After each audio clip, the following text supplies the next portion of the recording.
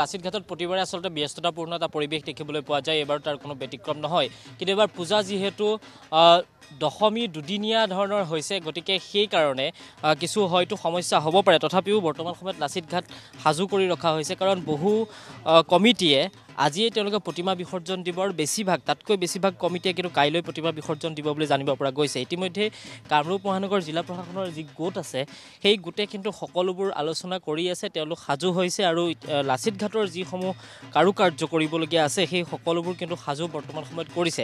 গতিকে লাচিত ঘাটত আৰম্ভ হৈ এতিয়াও কৰি দিব পৰা নাযায় কাৰণ কোনো কোনো কমিটিয়ে তেওঁলোকৰ নিৰ্দিষ্ট পূজা সমাপ্ত হোৱাৰ দশমী পূজা সমাপ্ত হোৱাৰ পাছতহে আনিব বা কিছুমানে তাতকৈ দেৰিকৈ আনিব এটা সময় নিৰ্ধি- নিৰ্ধাৰণ কৰি তেওঁলোকে লোৱা নাই। কাৰণ আমি যিসমূহ পূজা সমিতিলৈ গৈছিলোঁ কথা পাতোতে গম পাইছিলোঁ যে নিৰ্দিষ্ট সময় এটা তেওঁলোকে ঠিক কৰি লোৱা নাই। সেই গতিকে কিমান সময়ত কোনখন কমিটিয়ে ইয়াত প্ৰতিমা বিসৰ্জন দিবলৈ আহিব সেই কথা এতিয়াই ক'ব পৰা নাযায়।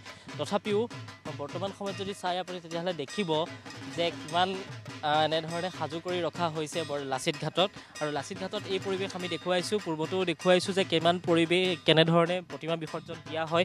আৰু এইবাৰো তাৰ কোনো ব্যতিক্ৰম নহয় সকলো সাজু কৰি ৰখা হৈছে। ইয়াতে আভ্যন্তৰীণ জল পৰিবহণ বিভাগ সাজু হৈ আছে কামৰূপ মহানগৰ জিলা প্ৰশাসন সাজু হৈ আছে। সকলোবোৰ পূজা সমিতি যিসমূহ আছে সেই সমিতিসমূহৰ সৈতে যোগাযোগ অব্যাহত ৰাখিছে তেওঁলোকে।